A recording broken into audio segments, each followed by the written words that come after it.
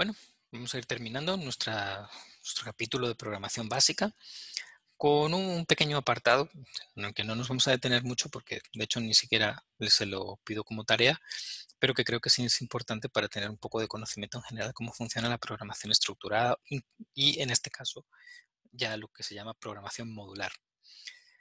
Si recuerdan, hay cosas que nosotros no podemos predecir dentro de nuestro algoritmo, por ejemplo, el tamaño de una matriz va a depender de la cantidad que nos indique nuestro usuario eh, a la hora de dimensionar esa matriz. O cuántas veces tenemos que ejecutar un bucle. dependiendo de la cantidad de números que nos den, para ejecutar el promedio voy a tener que cambiar el, el número de veces que se repiten las cosas. De esa misma manera, puede que haya partes del código de un algoritmo que se repiten en muchas ocasiones y que bien porque por legibilidad, ¿verdad? Para no tener que ver muchísimas líneas de código que van a volverse a repetir una vez y otra vez y otra vez, yo puedo tenerlas aparte, ¿sí? Y llamarlas por un nombre, o bien porque se pueden ejecutar o no una cantidad indeterminada de veces, entonces yo no puedo poner ese mismo número de esas sentencias una vez, otra vez, otra vez, unas detrás de otras, porque no sé cuántas veces las tengo que poner. En, eso, en esos casos, es cuando se utiliza un mecanismo conocido desde la antigua Roma que se llama divide y vencerás. Agarramos el algoritmo principal, lo dividimos, le sacamos las cosas que se repiten y les ponemos un, nombre para poderla llamar posteriormente. ¿Ok? Eso se llaman procedimientos o se llaman funciones. Vamos a hacer una pequeña prueba para que ustedes vean cómo es eso. Ponemos prueba funciones. Así se va a llamar nuestro algoritmo principal. Y para que, sepamos por dónde vamos, le vamos a ir poniendo aquí, escribimos,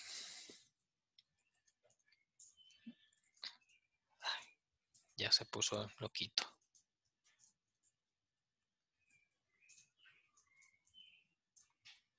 Ahora me sale la comilla. A veces se pone un poquito loco. Eh, función sin parámetros. ¿Ok? Y vamos a llamar una función precisamente eso, que no tiene parámetros, simplemente es una recopilación de funciones o de una recopilación de sentencias. Vamos a ponerle sin parámetros. Y no le ponemos nada más. ¿Ok?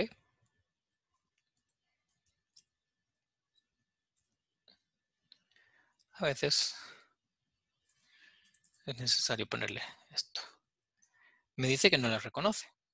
Efectivamente, eso no es un, eso no es un valor o, una, o el nombre de una función que tenga present incorporada. Tenemos que definirla. Y se define así. Fin de la función. Como ven, oh, mágicamente, se acaba de quitar el error. Hoy sí reconoció que esto es una llamada a una función aparte. ¿Qué vamos a poner aquí? Por ejemplo, mm, escribir, dime un número. Y aquí leer número, num, para que no crea otra cosa. Escribir, por ejemplo, número, vamos a poner num por 2 igual a num por 2. Eso es todo lo que va a hacer esa función. Entonces yo la puedo llamar una cantidad de veces, tantas como yo quiera. La puedo llamar con o sin paréntesis. ¿Ok? Estos paréntesis sirven para mandarle, enviarle valores a las funciones para que hagan su trabajo de cálculo. Ok, vamos a ver cómo funciona eso. Básicamente, la he llamado dos veces. Como pueden ver, el algoritmo principal se ha metido dentro de la función. Dime un número. Luego lo vamos a hacer ejecutándolo paso a paso. Le voy a decir 3. 3 por 2 igual a 6. Dime un número. 4, 5. 5 por 2, 10. ¿Ok? Muy bien. Ejecutémoslo paso a paso para que lo veamos bonito. y que vean cómo va saltando de la función. Aquí le vamos a poner eh, escribir segunda llamada. ¿Ok? Listo. Y lo ejecutamos paso a paso. ¿Ven cómo entró? Saltó, se fue del algoritmo principal y se fue a la función.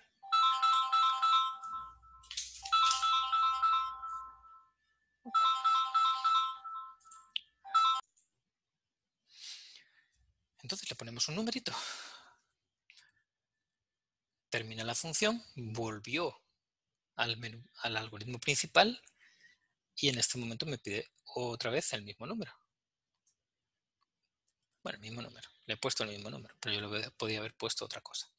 Como pueden ver, él, cada vez que yo quiera calcular el número multiplicado por 2, con este textito y toda la cosa, pues solo tengo que llamar a la función sin parámetros. ¿Ok? Muy bien, ahora vamos a hacer una función, pero que sí tenga parámetros, que haga algo interesante. Ok, sí, está siendo ejecutado. Cerrémoslo. Vamos ahora a pasarle los valores de la multiplicación, pero se los vamos a pasar como valor a los, en los parámetros. ¿Ok? Por ejemplo, escribir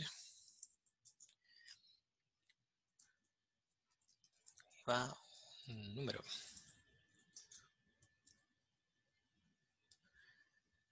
Y vamos a poner aquí para que quede más lindo.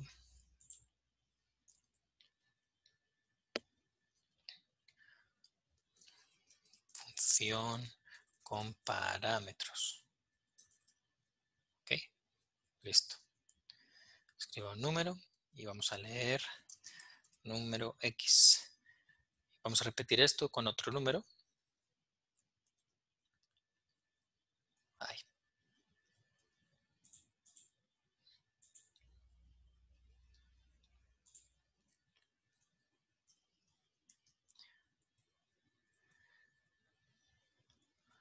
Otro.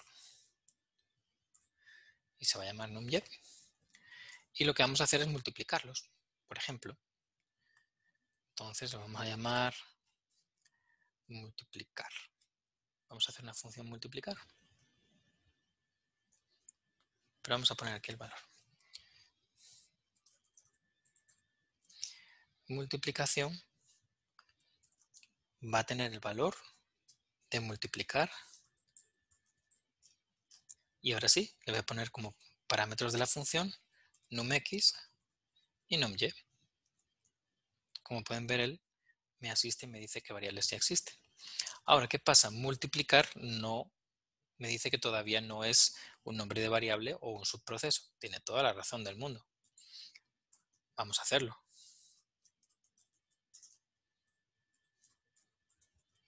Función multiplicar.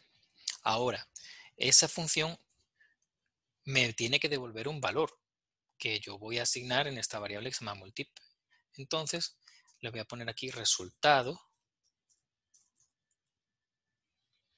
es una variable especial que va a recibir el valor.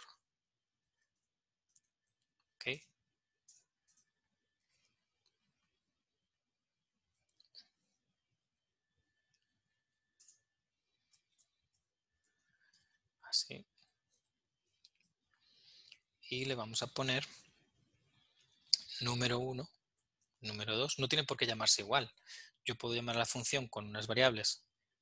¿ok?, numx, numi y estas variables num1 y num2 van a tener los valores iguales a los que yo llamo la función. ¿Ok?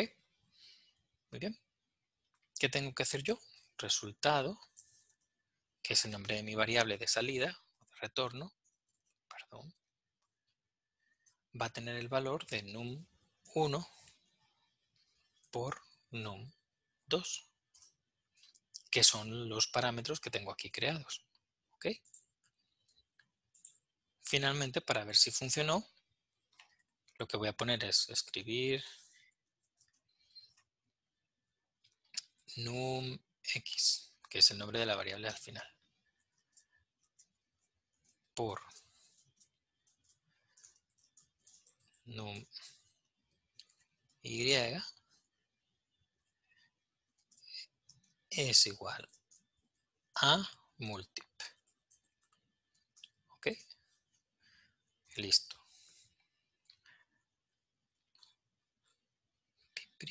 Creo que con eso podemos ejecutarlo. Vamos a ver qué tal funciona. Comenzamos. Primero la función sin parámetros. Me pide un número. 2. Una llamada. Mi número 4. Y ahora va a llamar a la función con parámetros. Escribo un número. Un 5. Otro número. Un 3. Y 5 por 3, 15. Perfecto. Listo. Eso lo que ha hecho ha sido llamar a una función con parámetros, ¿ok? En la que solamente le hemos pasado parámetros, los valores de los parámetros.